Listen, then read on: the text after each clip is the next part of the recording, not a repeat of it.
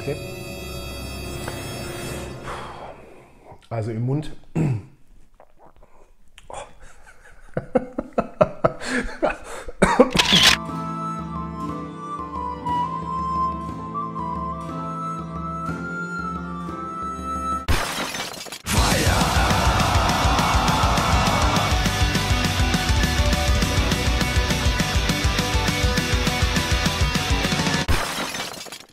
Servus Malzrocker, es ist Donnerstag, alles ist möglich Donnerstag und es fängt heute schon mal damit an, dass ich mir hier mal so ein neues Plätzchen im Haus gesucht habe.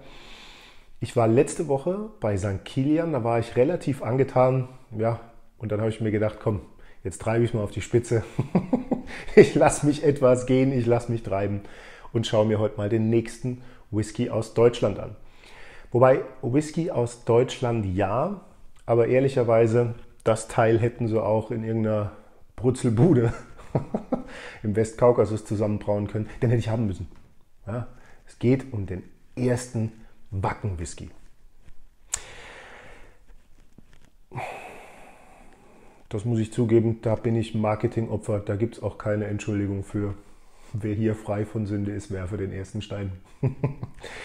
Und heute geht es mir natürlich weniger darum, jetzt wirklich Entschuldigung, fein säuberlich äh, jede Geschmacksnuance da irgendwie rauszuarbeiten. Heute ist eigentlich nur das Entscheidende zu gucken, kannst du dir das Teil pur reintun oder geht das direkt in die Cola-Schorle? Und deswegen machen wir auch heute zusammen das komplette Erlebnis, also vom Auspacken äh, zum Aufreißen und dann eben auch zum allerersten Mal verriechen und verkosten. Weil, wenn man sich den Karton anschaut, da fällt einem gleich schon mal das erste irgendwie auf.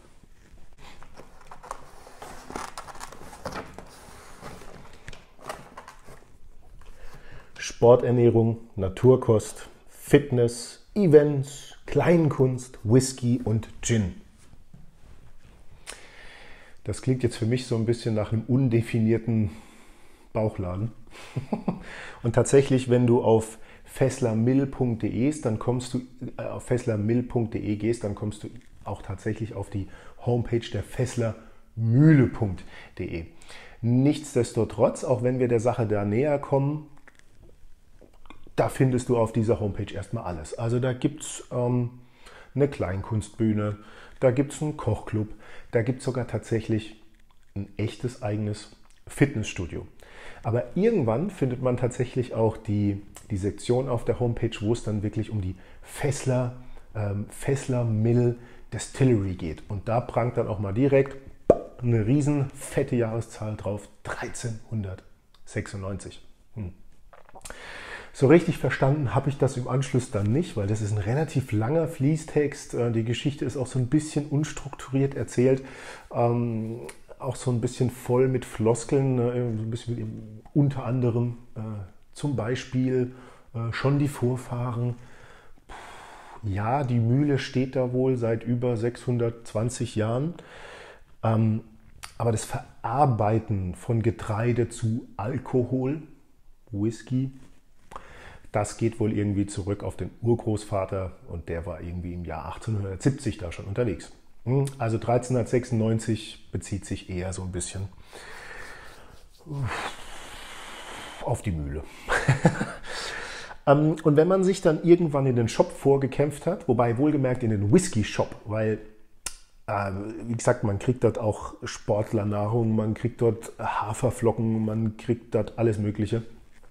Ähm, wenn man am Ende im Whisky-Shop ist, dann geht tatsächlich auch so ein bisschen diese, diese wilde Mixtur ein bisschen weiter. Du kriegst dort äh, Classic Whisky, American Whisky, du kriegst dort einen Lady Whisky, du bekommst äh, einen Hafer Whisky, interessant. Und eben auch diesen Wackenwhisky. Mhm. Und jetzt, jetzt packe ich das Teil mal mit euch zusammen aus. Hm?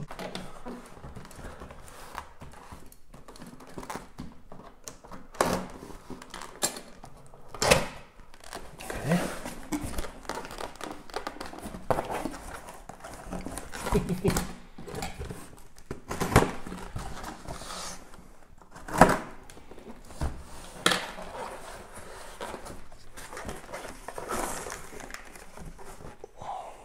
sonst ist da, glaube ich, nichts drin.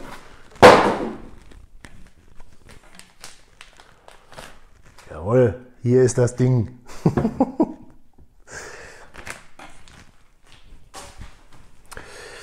Warte mal, ich halte mal direkt die Kamera. Ah. So. Ja, Wacken Open Air 2021 ist ja leider auch ausgefallen. Faster, harder, lauter. Fessler Mill 1396 Metamalt Whisky Wacken Edition. Bevor ich jetzt noch ein bisschen was. Ah, by the way, da steht noch ein bisschen was hinten drauf. Entschuldigung. Seit vielen Jahren treffen sich Wacken. Okay, da geht es aber um Wacken.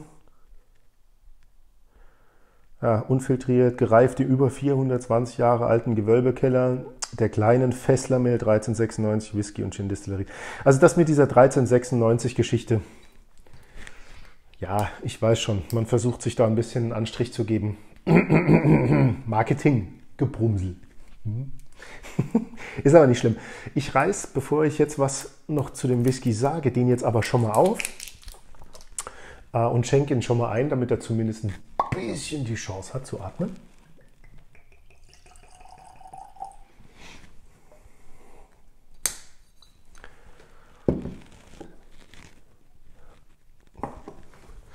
Okay. Also, auf der Flasche selbst steht jetzt nichts, aber auf der Homepage habe ich gelesen, ist eine recht, sagen wir mal, eine recht spannende Mischung. Und zwar wurde das Teil nämlich gelagert äh, zum Teil, oder ein, ein, Teil davon wurde gelagert in alten schottischen Whiskyfässern. Ist jetzt nicht näher spezifiziert. Ein anderer Teil wurde im Württemberger Lemberger Fass gereift und ein anderer Teil im Ex-Lafroig-Fass.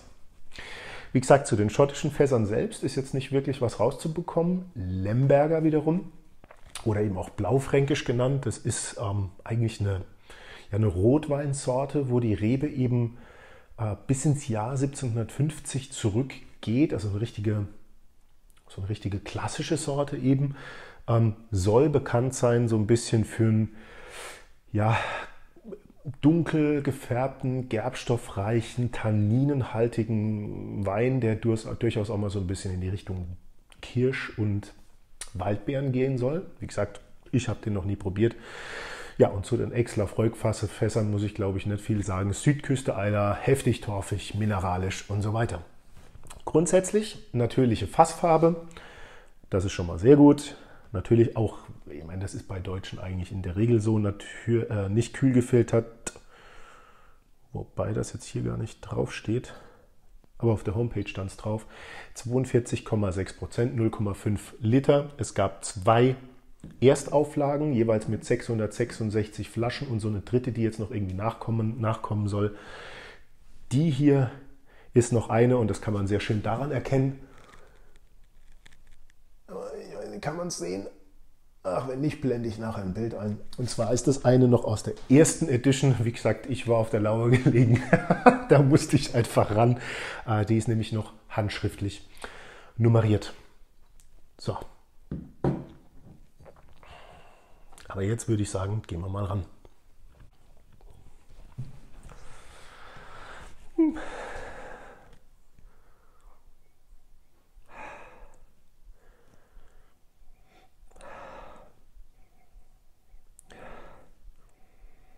Ja, also es ist tatsächlich so, dass einem da im allerersten Moment so eine richtige, ja, so eine Getreide-Süße äh, entgegenschlägt, so eine, äh, ja, komme ich, äh, komm ich bestimmt gleich nochmal dazu.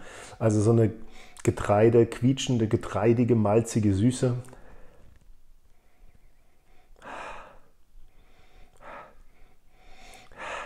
Ist jetzt im ersten Moment noch nicht wahnsinnig unangenehm. Äh, der Alkohol sticht kaum. Was mich ein bisschen wundert, ist, dass man von den Lafroig-Fässern relativ wenig äh, mitnimmt im ersten Moment, weil ich hatte schon in Lafroig-Fässern gelagerte Whiskys und selbst wenn dort nur ein kleiner Anteil drin ist, der Lafroig, der beißt sich normalerweise relativ straight und relativ schnell seinen Weg durch. Hier im ersten Moment, wenn ich es nicht wissen würde, in der Nase. Ja, vielleicht so eine leichte so eine leichte mineralische Note. aber extrem, ansonsten erst einmal extrem getreidig, extrem süß, äh, relativ wenig, was mich jetzt an einen schottischen Single Malt beispielsweise erinnern würde. Positiv ist, dass ich im ersten Moment auch von dem Lemberger relativ wenig habe. Also das heißt auch, dass ähm, äh, der Wein dominiert hier nicht allzu stark, dass du irgendwie jetzt wunder weiß, was für eine Weinnote mit dabei hast. Du hast ein bisschen Vanille mit dabei. So eine leichte Kräuternote da, die da noch mit dabei ist, die so ein bisschen in die Richtung ja, Mamas Kräutergarten geht. Ja, also jetzt nicht irgendwie Kräuter der Provence oder so, sondern irgendwie, wenn du draußen in deinem Garten stehst. Petersilie. Bisschen erdig, aber alles in allem hast du da diese getreidige, malzige Süße.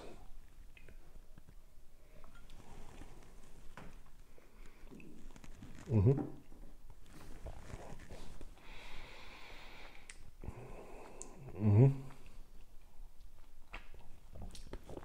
Mhm. Okay. Also im Mund.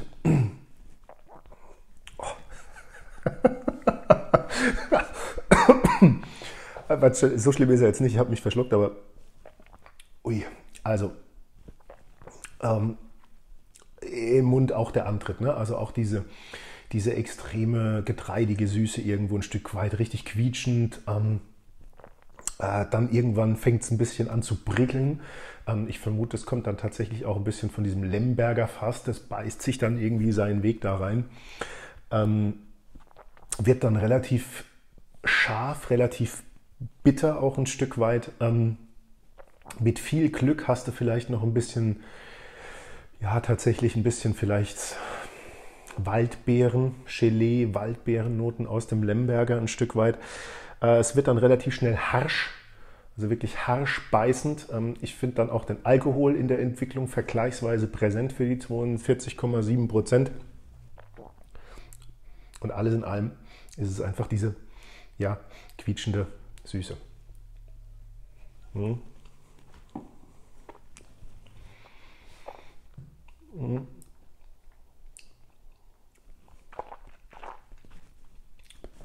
Und auch jung und sprittig. Muss ich zugeben. Für mich. Ja, bitte alles, alles subjektiv. Ähm, das Problem bei vielen deutschen Brennern ist, und wenn ich die Bilder bei der Fesslermühle gesehen habe, ist es dort ähnlich auch.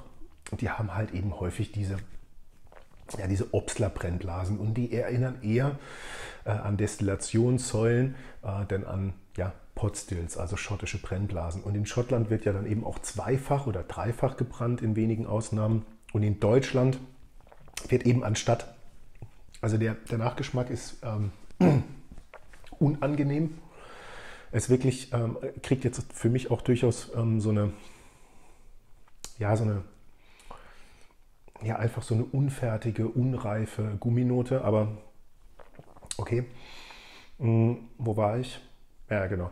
In, äh, in Deutschland wird dann eben anstatt ein zweites Mal ähm, zu brennen oder den Feinbrand zu brennen, dann eben in diesen Destillationsapparaturen, ähm, da werden in diesen Säulen äh, dann solche, ja, solche Böden einfach reingezogen. Und am Ende kriegst du dann eben oben, beziehungsweise du kriegst dann eben irgendwann nach dem letzten Boden dann deinen Spirit. Und dadurch hat eben allein durch dieses Brennverfahren äh, dieser dieser Spirit einfach nicht diese intensive aromatische Note, die jetzt beispielsweise eben ein schottischer Whisky hat, sondern es geht eben, Entschuldigung, eben in diese süß-fruchtige Obstler-Richtung. Ähm, nur halt eben aus Getreide. Der Horst Lüning, der sagt dazu immer ganz gern Gerstler. Und ehrlicherweise bin ich mit allem d'accord, was, was er so sagt, aber Whisky-Papst. aber an der Stelle hat er durchaus recht und das war auch lange Zeit der Grund, und ist auch für mich nach wie vor noch der Grund, warum ich mir mit deutschem Whisky ganz häufig schwer tue, wenn er eben aus diesen Obstler Destillationsanlagen kommt. So, kommt nochmal eine letzte Chance. Ja, also mit viel gutem Willen kommt jetzt tatsächlich so ein bisschen eine Kirschnote durch. Die kann vom Lemberger kommen. Du hast die Vanille, getreidige Süße, quietschende getreidige Süße. Der Lafroig ist bestenfalls mit ein bisschen mineralisch, äh, mineralischem Anflug irgendwie zu haben. Rauch nicht wirklich.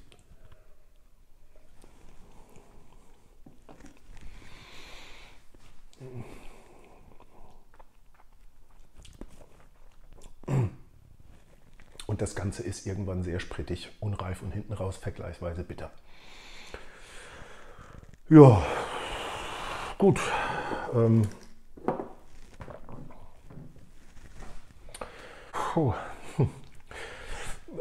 Kommen wir zum Fazit. Also ich will das Ding jetzt nicht noch weiter schlecht reden. Ich finde, das gehört sich nicht, weil ich bin mir ganz sicher, da stecken Menschen dahinter, äh, die das Ganze mit, ja, mit viel Engagement, die das Ganze mit viel Leidenschaft, die das Ganze mit viel Blut, Schweiß und Tränen betreiben.